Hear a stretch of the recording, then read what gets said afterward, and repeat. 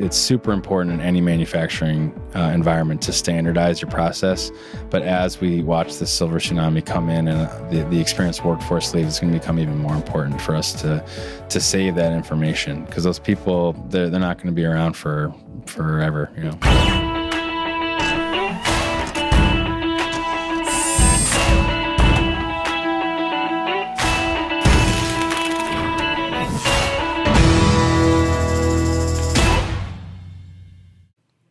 Hey, it's Ari Santiago, President, CEO of IT Direct. Welcome to this episode of Made in America. I'm here with uh, Tom McGwire, Vice President of Business Development from uh, Industrial Heater, almost a 100 year old Connecticut success business.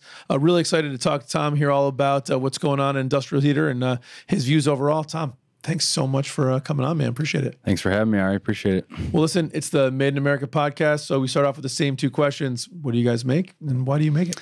Process heaters. So um, most of our heaters are used in injection molding and extrusion processes, um, but we do a number of applications, um, and and some of the applications are beyond me. Um, most of what we do is custom made. Our customers specify um, a heater use, and, and we make it to print. So. Um, in addition to the heater business, we have a contract sheet metal fabricating unit, which is what I'm uh, spend most of my time doing. And uh, we do uh, or we service a range of industries on that side as well. So uh, one of the things I'm most proud of is that we we service a ton of different customers in uh, a lot of different industries, and um, we touch a lot of facets of American life. So. Yeah, that's pretty awesome, and yeah. you guys have been doing it for almost a century. So, yep. certainly want to get into that. But let's get kind of a little bit of uh, maybe the background actually of you know why do you guys do it? How did how did this all get started? How did we get to kind of where we are today? Sure. So my uh, my great grandfather Len Steiner um, is a Kansas guy. He uh, he fought in World War One. He was an ambulance driver, uh, horse drawn ambulance in World War One um, came back and he was a tinkerer and engineer by trade, and he um, started to develop heaters that were mostly used in the garment industry. So this is New York, 1921. Um, he's servicing uh, mostly immigrants that are making clothing, uh, drying garments, um, using the heaters to produce the garments. And he does that for about 20, 30 years before plastics starts to become relevant in the late 40s, uh, 50s, and um, he gets approached by a, uh, a, guy named by the name of Ren Morse, who started a, a company called Industrial Machine, Machine Supply. Um, and together they patented the the first heater band that went on what was called the midget molder, one of the first injection molding machines. Um, and the rest is history. Um, we spent the next you know 60 70 years doing heater bands mostly for plastics um, but like i said goes into a, a, wide range of applications so. So maybe explain like for those of us that don't 100% know what a heater band is What sure. is what is that? Um, so in the plasticating process mostly injection molding and extrusion like i said um, uh, one of the most important things is that you're melting plastic down into a liquid state um, to be injected or to be uh, extruded. So the heaters that we make go on those machines to melt the plastic down. Uh, they're called heater bands because, for the most part, they look like a ring um, and um, go either around the barrel uh, of the um, the extruder or the injection molding machine and um, uh, melt the plastic. So it just melts it so that it can get then reformed into whatever the final shape is going to be. Yeah. So they they they operate kind of like uh, the heating system in your house. So um, they they basically just switch on and off, um, and they're operated with a thermocouple that's tied to a controller, and um, you know some of them can get up to 350 degrees Fahrenheit, and uh, depending on what what their uh, process is. Um, some people even use the heater bands for um, uh, metal or gold or silver. Um, and like I said, uh, you know, a lot of our customers do stuff with our heaters that we don't even know about. Uh, we just we just make them for their machines. That's right. Yeah. So I mean, you know, listen, you go to the website, you see you guys doing stuff in pharma, right? You're doing stuff in oil and gas, like so. That's not that's not plastic extrusion. So right. what are you guys doing in those industries? And, and, there's all kinds of different heaters, right? You've got the submersibles and, and different stuff. So like, how much is that kind of mix into the the product mix? Um, so we also make immersion heaters, um, and those are um, heaters that go into liquid um, applications. So um, you know, if if someone's uh, making perfume, for example, and needs that to get to a certain temperature, they'll use one of our heaters to um, heat the the bath to whatever temperature they need it to be. Sure. Um, actually, if you go and you drive into New York, you might notice the water towers on the top of the apartment buildings. Sure. Um, we make about um, seventy percent of the heaters that go into those tanks and just keep the water from freezing in the uh, in the winter. Um, and then um, you know it, it, on the medical device side, um, our heaters are, are used in the plasticating processes that that our customers um, use to make medical uh, IV tubes and syringes and bags and everything in between. So, um, like I said, we service a lot of industries. Our customers range from the distributors, the OEMs that build the equipment that make plastic parts, to the the end users who are who are making this product. So. And so, is there any relationship between being a horse-drawn ambulance driver and this business, or it was just sort of a happenstance, unrelated? Coincidence. Uh, I think uh, Len was a patriot. Um, Yeah, he sure. he did get a uh, a Medal of Valor uh, while he was there, and we still have that hanging in our our building. Um, and like I said, he was a tinkerer. He he really liked to invent. Um, one of the uh, his most famous applications was uh, in Times Square. There used to be a Marlboro man who was smoking a cigarette, Yeah. and there was a puff of steam that would come out of his mouth after he exhaled. And my great grandfather, he invented the, uh, or he he made the the heater that went onto that device to make the steam. So no kidding. yeah, Look at that. It's pretty cool. Yeah. So, I mean, uh, so what's kind of your journey like, Tom? You know, here we are, like kind of getting into the family business. So you're the, let's see, so your great grandfather, so it'd be your fourth generation Yep. in the business. So kind of, you know, how'd your uh, long and strange windy road end up here? Um, well, I joke with people that I've been working at the company on and off for 16 years. Um, I started in high school um, doing minor assembly work, uh, just putting sleeving on fiberglass wires. Uh, nothing fun, that's for sure. Um, and then went off to college. I studied uh, international business and finance. Um, I thought I was going to be an investment banker one day, and I learned how to speak Chinese. I lived in China for a year um, and went off and worked for a couple other companies before I, I thought, um, you know, why don't I go and, and try my hand at the family business? And um, it, it turned out that I actually really enjoyed manufacturing.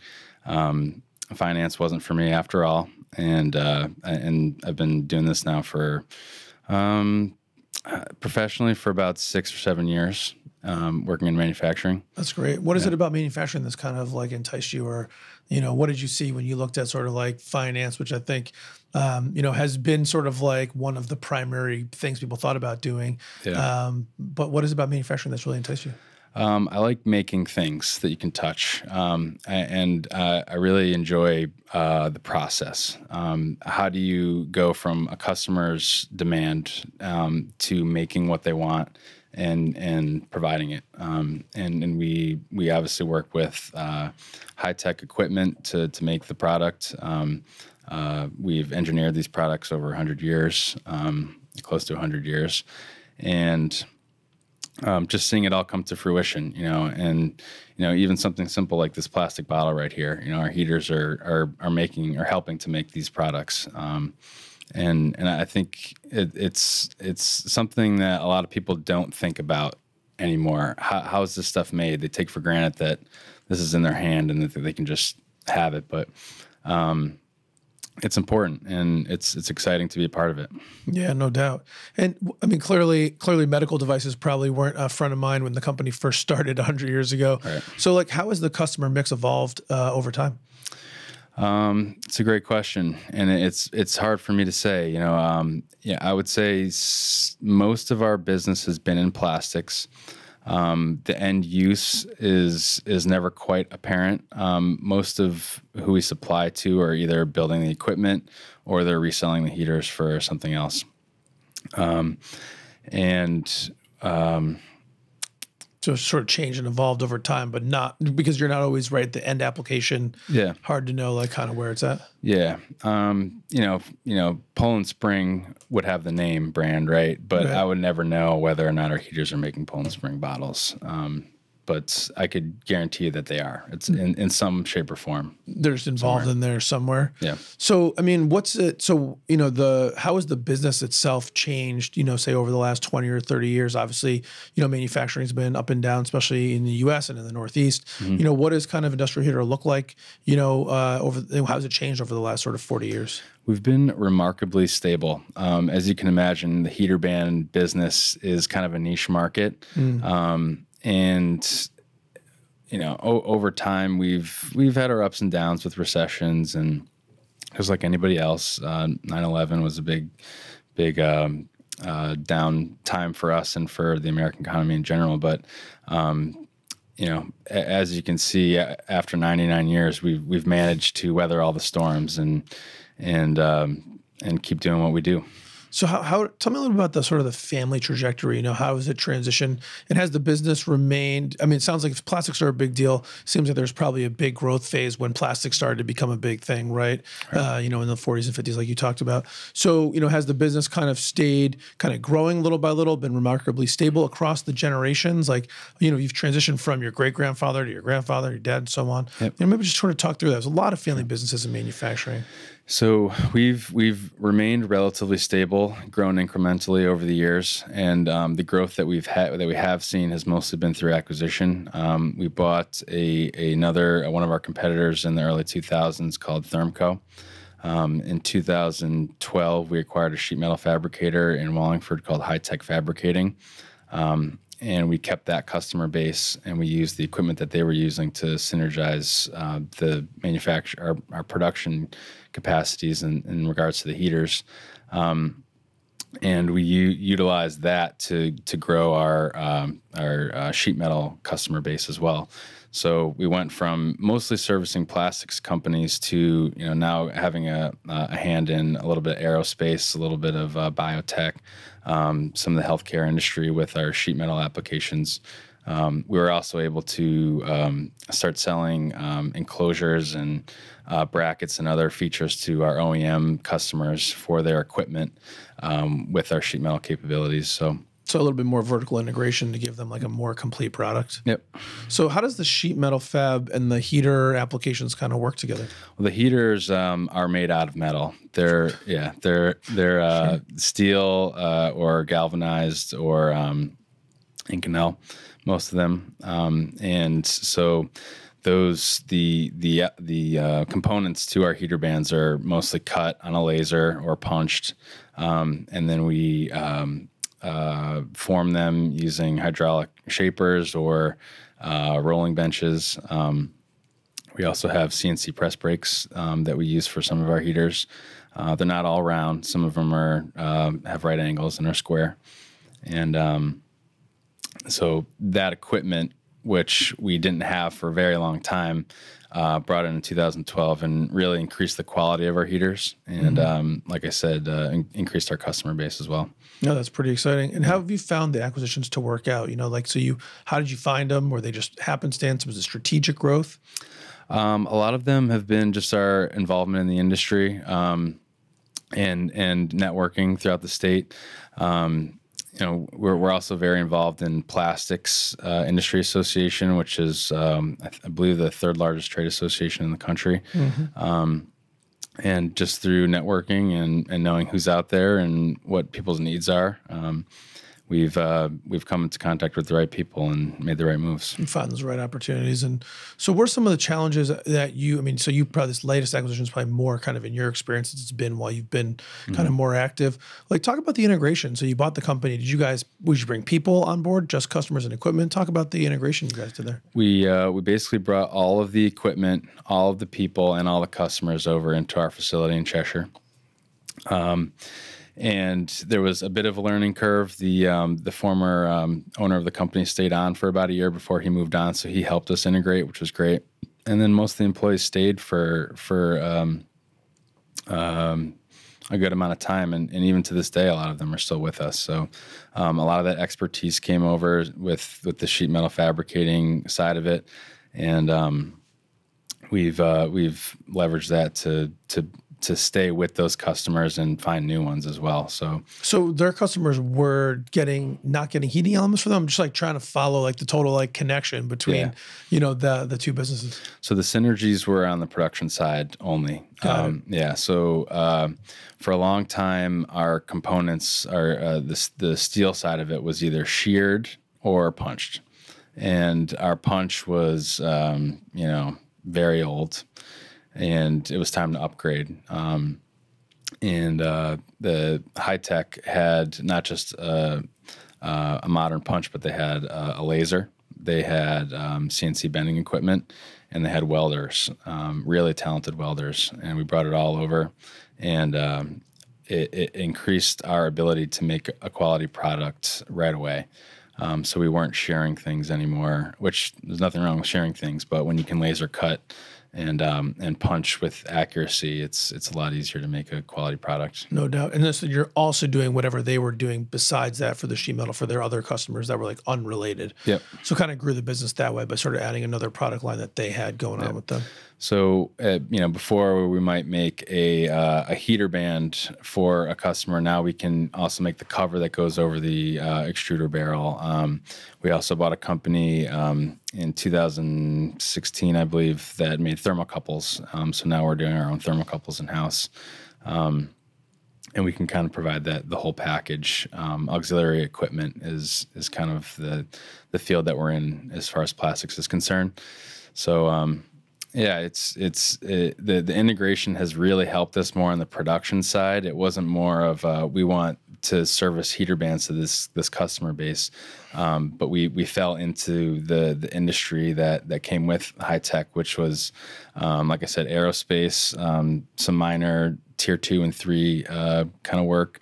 Um, we also uh, service a lot of healthcare companies in the state that that make um, uh, surgical equipment and um, everything in between. You know, we'll we'll do one offs, we'll do prototypes, and and we'll we'll sell to um, machine shops who who need some fabricated work done, and um, everything in between. So So it's like a so so how, how was your what was your path from uh, assembly worker to uh, VP of biz dev? Like, did you go through some other stuff? Why out of the production and into the kind of the business portion of the business? Um, I, you know, I studied um, business in college and had an affinity for it. Um, was Boston College, uh, well, not well Northeastern, but in Boston is what yeah, I meant. yeah, love Boston. yeah, um, great town. Yep. and um, you know, like I said, came back and and wanted to help out, but at a higher level. I didn't want to do assembly work anymore, um, and I I wasn't, uh, um, you know. I wasn't interested in running a machine either. I, I just wanted to to help. And to be honest, when I first started, I, I don't I don't think I knew what exactly I wanted to do. I just wanted to get in there and and and help. So um, at first, I, I did sales for heaters. Um, and worked with our customers. I did inside and outside, so I traveled around and visited. I learned a lot about what our customers do, um, what makes what what's important for them, and and and how uh, important quality is for them. Um, and then uh, after doing sales on the heater side, um, and uh, the previous owner for High Tech left, I started to manage that side of the business with the sheet metal and um, I had to be a lot more hands-on, learning how uh, we start we made that product range um, as opposed to the heaters now. Um, and then um, a few people left over the years, and and now um, I'm still here and and sticking with the business. So um, my efforts now are are mostly towards business development. Um, I, I've, I've been there long enough where I, I know what areas we need to improve on, and um, and that's where where I spend most of my time. So what does like what does a day in life look like? Kind of when you're doing like business development work. What does what does that look like? Well, we um, li- like a lot of companies in Connecticut um, uh, started pursuing uh, lean initiatives um, over the last couple of years, um, and and so a lot of what I do as far as biz dev um, is is mostly on the production side and and running kaizens and um, continuous improvement efforts. Um, we um, uh, have our ISO 9001 2015 certification. So um, our lead auditor and I make sure that we're um, that our quality management system is um, working the way that it should be. Sure. Um, making sure that we're continuous improving, continuously improving. Um, I will also go out and find new business. So I'm, I'm still in sales um, on the heater side and on the the high tech side. Uh, but then we do a lot of uh, trade association work and community community outreach uh, which I participate a lot in. Uh, you and I know each other from Senator Murphy's uh, Manufacturing and Aerospace Advisory Council.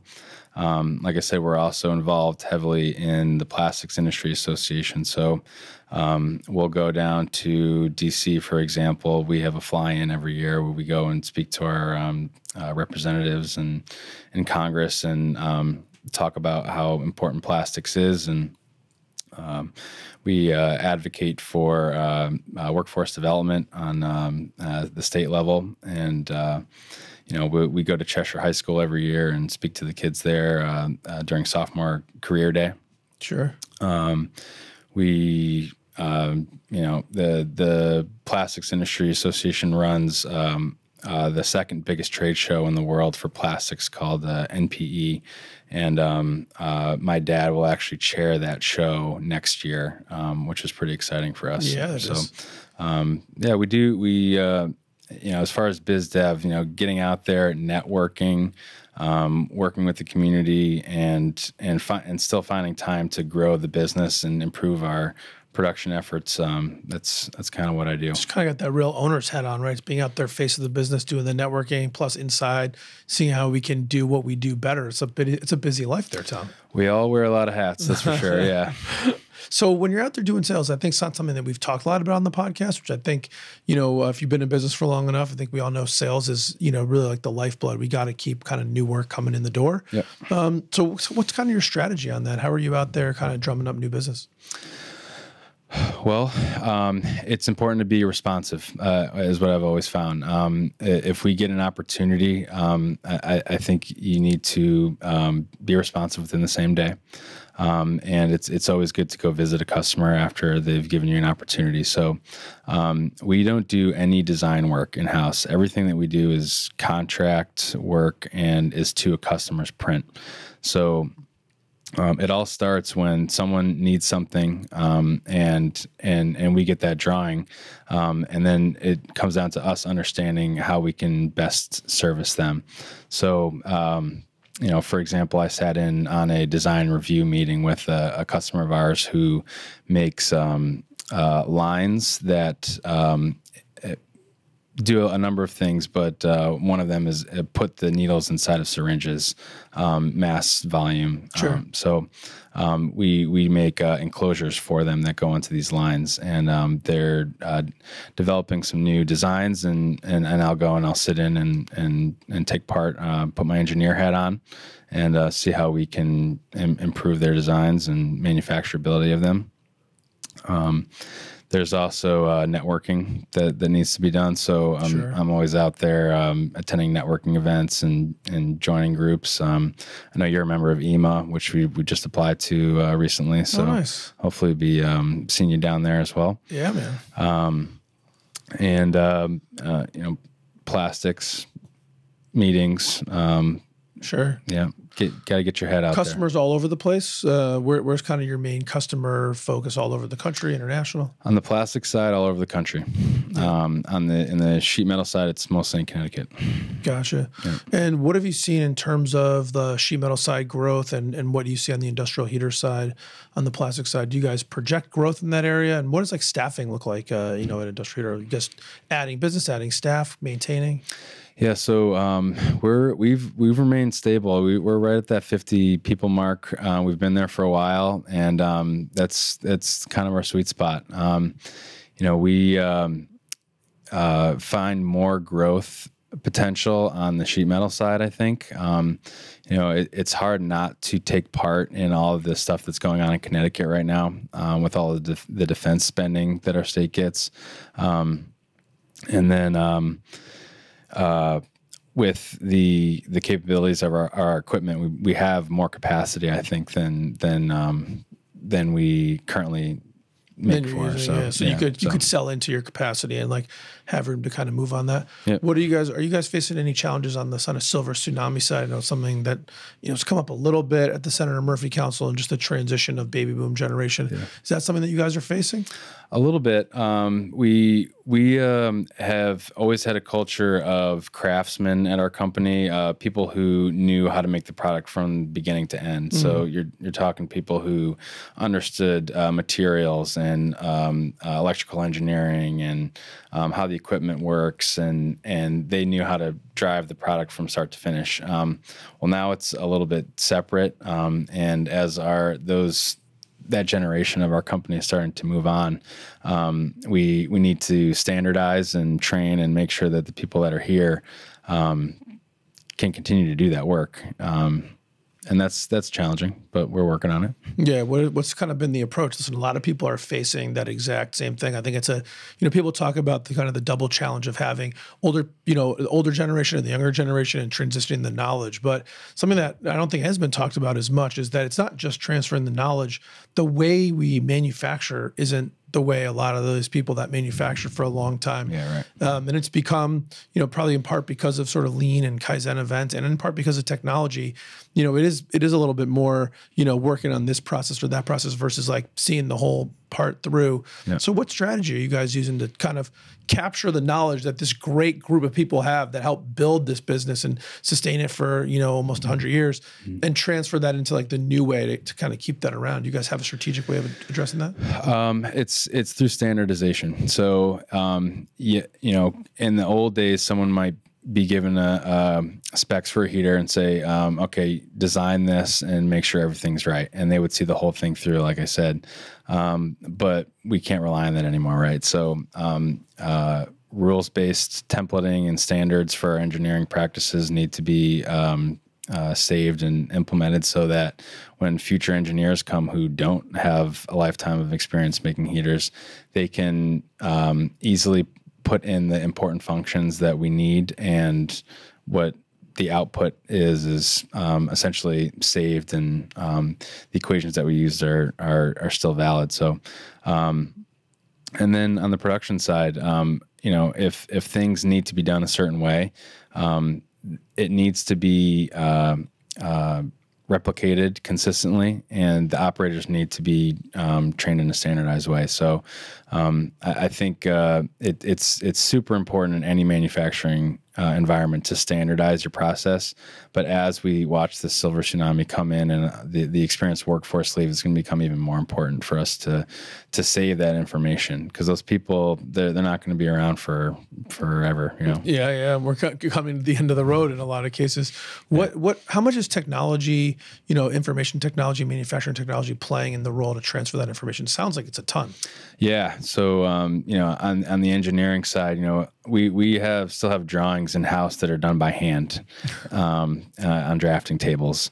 So how do you say that? Well, well now all of our work is done in SolidWorks and AutoCAD. So um, you can use those programs to um, to replicate the same outputs that you when you put in certain inputs. So a lot of our push is, all right, um, if Wait, hold on. What, do you, what do you mean when you put it? So you could take SolidWorks Mm-hmm. and then you put in like what inputs? You're saying just like scan something and put it in, or you have to really like redraw it. the data. So if if um, if a customer needs um, certain um, features on their heater band, um, they'll specify it, and uh, we put it into SolidWorks or AutoCAD, and the output is drawn up automatically. Right. Right. So uh, maybe a couple features need some some finagling. Um, you might need to add a feature by hand because you can't. It's not going to do everything for you. Sure.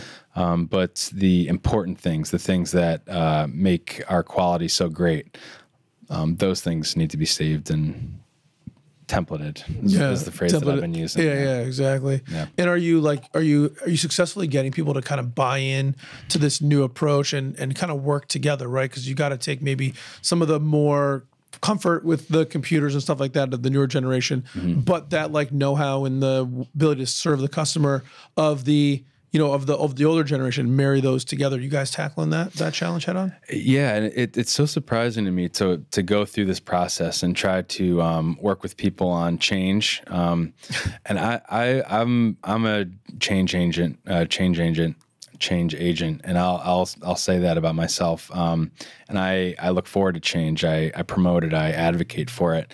Um, but most people don't like that. so True. Yeah. So um, uh, I I found that uh, once people are trained, um, they they get into the habit of doing things uh, the way that they've they've done it. And even even though um, maybe uh, management would like to change the way that things are done, um, you're always going to have some resistance because people just they they they found a way to do it that that worked for them.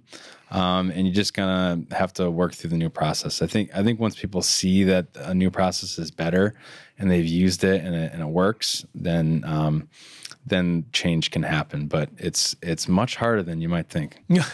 How do you get the, you know, is there an approach or like a system that you've used or steps or whatever the way you think about it to get buy in on that change? Because listen, change is hard, Yeah. but it's impossible if people aren't work and rowing in the same direction.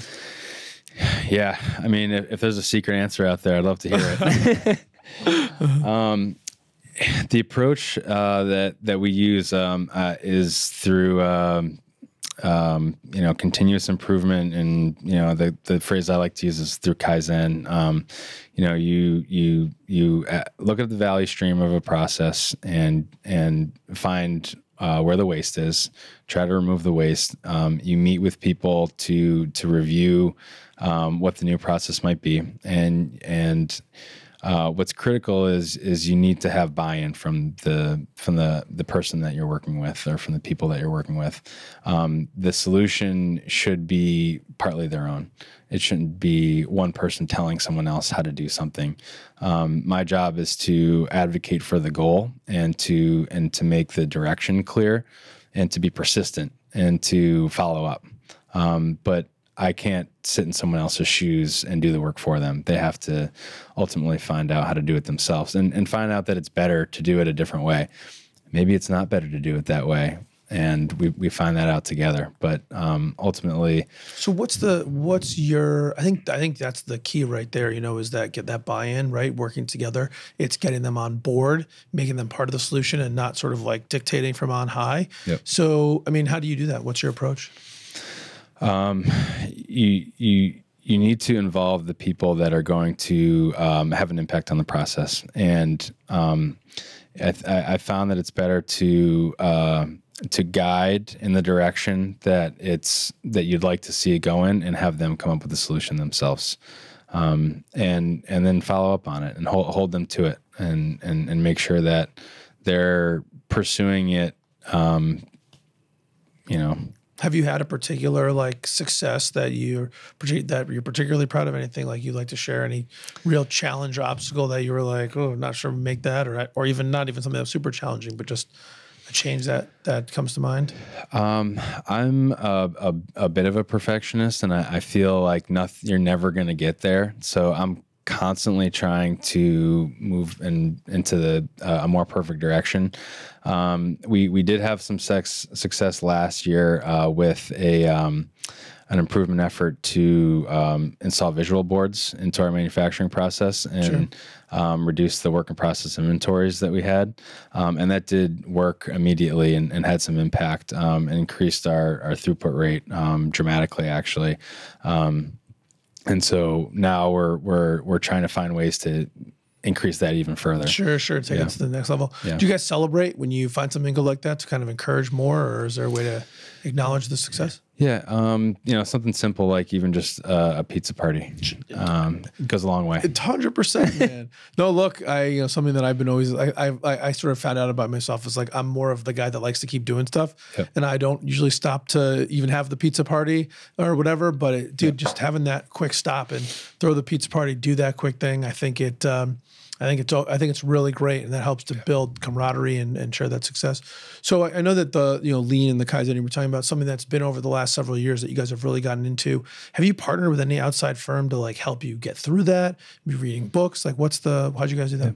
Um, so CONNSTEP is just a great change agent um, in the in the state. Um, we sent myself included um, a couple of us to their um, um, certification champion was a continuous improvement champion course um, that they run, which I, I would highly recommend to anybody out there. Um, they also do what's called a prime event, and they'll come in and they'll run kaizens with you. Yep. Um, and that's kind of where we we got our inspiration and we started to see the light.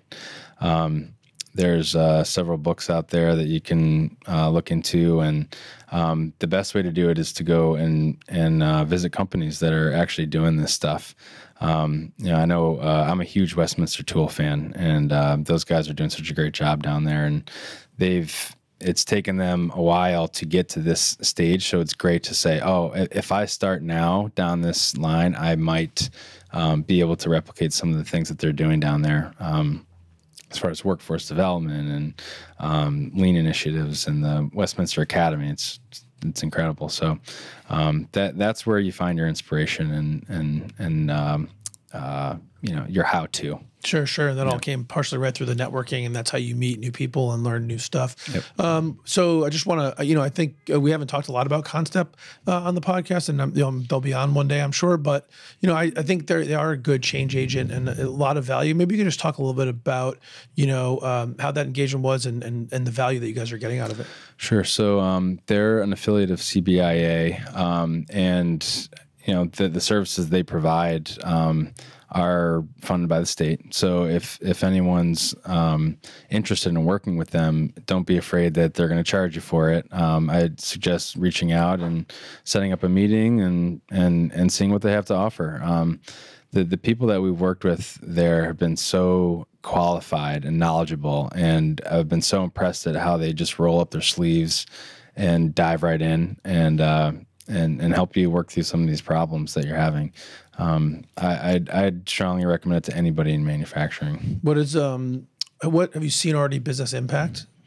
Absolutely, yeah. Um, after our, our, first round of kaizens, we had uh, uh, an immediate impact on our uh, throughput rate for the the heater side. We did another kaizen with them. Um, for the sheet metal side, and our, our quality um, uh, internal nonconformances dropped significantly uh, based off of efforts that they've helped us with. So, dude, those are those are some uh, those are some pretty uh, significant wins. Those yeah. are pretty significant wins. What do you what do you see uh, kind of into the future? You know, for you and and for industrial heater, like uh, you know, you're you're still a young guy. You know, what what's kind of your thoughts on the on the plans for the future? Um, plans for the future. Um, well, I I'd like to see us um, get to uh, a, a, a place where um, we are. Um, I gotta think about that one for a second. That's all right. Yeah, man. I totally, uh, totally think about it. It's a big, you know, listen, it's a super big question and it's a big, you know, it's a big tradition to yeah. kind of, you know, have on your back. And, um, you know, I, I, would like to grow the company personally um, and, potentially um, grow our international business. Um, I, I visited China uh, two years ago and visited um, other heater makers over there and to see what, what it was like. Um, I think that we have a lot to offer in that market where actually more injection molding and extrusion um, equipment is being manufactured if we can sell direct into China, uh, Europe, uh, India is going to be a, a, huge market in the in the future for the heater band business. Um, we can find ways to manufacture or sell overseas. I think that'd be great. Um, on the the sheet metal side, um, I'd, I'd love to get more involved into um, military and defense. Um, I, I, think a, a, lot of us in Connecticut would, um, but uh, there we have some work to do um, to increase our capacity and and and uh, our standardization level. Yeah, so well, working with CONNSTEP's going to get you there, and Yep. those sound like really uh, admirable, uh, you know, admirable goals, and uh, certainly wish you uh, the best success on on all that. And before we kind of go to uh, rapid uh, fire, we do know each other through Chris Murphy's advisory council, um, but I am going to ask you a slightly non-manufacturing question. I've been trying all episode to try and think about how I could work this in like surreptitiously, but there really wasn't a way to do it. So I'm just going to ask you straight out um, on the Phish run for New Year's this year at MSG. Which one was your favorite show?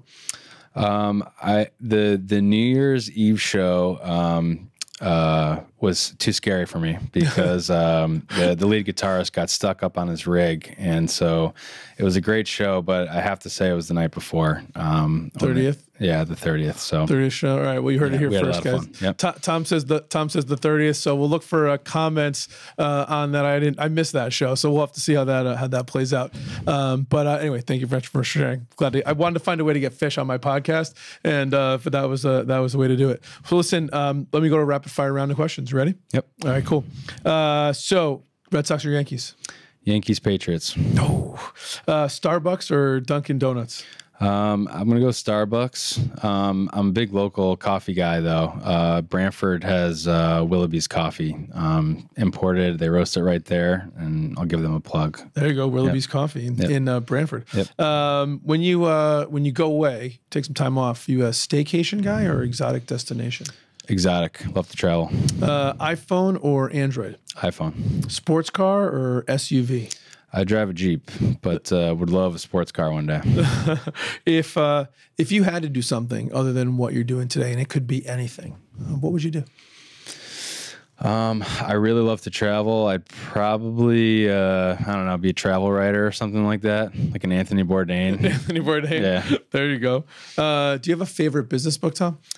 Um, I when I was in college, I loved um, the Intelligent Investor by Benjamin Graham. Um, that was those were during my finance days. But um, I would recommend. Uh, you know, we talked a little bit about lean today. Uh, lean Thinking by um, James Womack is um, really relevant, especially for Connecticut manufacturers. They use a couple examples in there, um, like Wiremold and um, uh, Pratt and Whitney.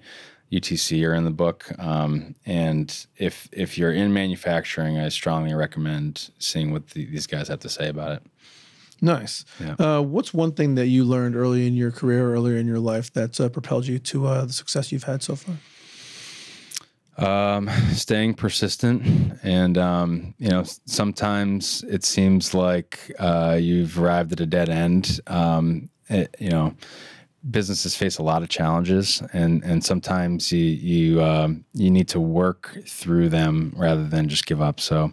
Um, I, I, I found that out early, and I've, I've watched um, successful people like my my grandfather, my dad, and um, other uh, managers that I've had work through these problems and seem to create miracles. Um, so, um, stay persistent. Yeah.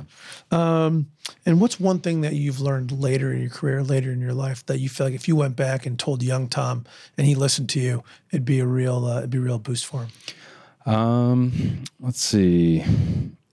I always say I wish I studied engineering first and then business second or something like that. Um, and, and spent more time um, working on the technical side of things. Um, I love business, but uh, I, I, I I would love to have more fundamental uh, knowledge and use in, in engineering. I'd say that. Yeah. That's a really uh, strong, uh, that's a strong takeaway. I'd recommend that to anybody too who's um, if if they're thinking about studying business, they they know that they love business and they're going to go into it. Great, but um, consider um, specializing first and then getting into the business after. I, I've had to pick up a lot of my um, engineering acumen after the fact, um, which is fine. But But it would have been easier the Other way first around. way around. There you go. Well, listen, but you couple that with uh, the perseverance, and uh, you could still get there. Yep. So, listen, we talked about a bunch of stuff today. Uh, you know, lean, perseverance, uh, family business, all kinds of stuff. And uh, just like to end with, you know, each of us kind of picking one thing that, um, if we, if if the, someone listened to this podcast and walked away with this one thing and implemented it in their life, it, it'd make a real difference. And I wonder what you uh, what you think that'd be. Um, let's see. Continuous improve, continuously improve. Um, you can never get to that perfect state, but you might as well try.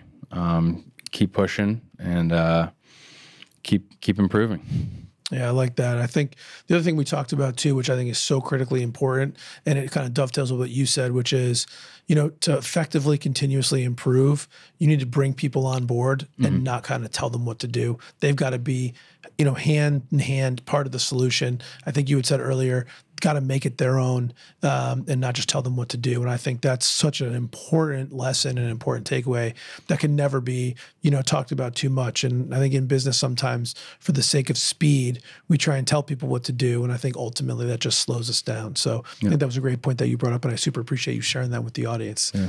Tom, it's been awesome having you on. Uh, great to see you back in Connecticut. Um, and um, you know, again, thanks for coming on the show, man. I super appreciate it. Yeah, thanks for having me. Ari. I appreciate it. Big fan of the show, and good luck to you. Thank you. Made in America with Ari Santiago is brought to you by IT Direct. As always, thanks so much for tuning in. I definitely want your feedback and hope you subscribe. But what I want the most is to build a community where we learn and grow with each other. I hope you're getting a lot of value out of the time we're spending together. Thanks so much for listening. I'll see you next time.